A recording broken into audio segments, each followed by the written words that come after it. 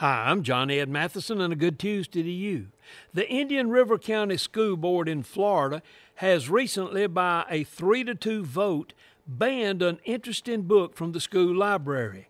The book was about school boards banning books from school libraries.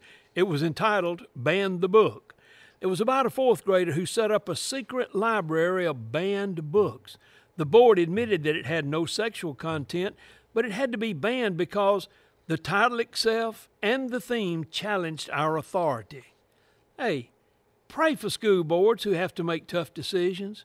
I would suggest a book, the Bible, that does not need to be banned from any library. It really needs to have more Bibles put in libraries. I would hope the school library boards would give a strong affirmation of the Bible. That's what our forefathers did.